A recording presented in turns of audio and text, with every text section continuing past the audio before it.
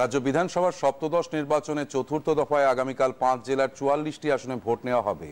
কেন্দ্রগুলির মধ্যে রয়েছে দক্ষিণ চব্বিশ পরগনার এগারো, হুগলির দশ ও আলিপুরদুয়ারের পাঁচটি আসন। এছাড়াও রয়েছে হাওড়া এবং কোচবিহারের নটি করে আসন। এদিকে কলকাতা, লাগোয়া, দক্ষিণ চব্বিশ পরগনায় যে ছটি বিধানসভা কেন্দ্রের সাতশো একুশটি ভোটগ্রহণ কেন্দ্রে ভোট নেওয়া হবে, তা সুষ্ঠুভাবে সম্পন্ন করতে নব্বই কোম্পানি কেন্দ্রীয় বাহিনী মোতায়েন করা হবে বলে মুখ্য নির্বাচনী আধিকারিকের দপ্তর সূত্রে জানা গেছে।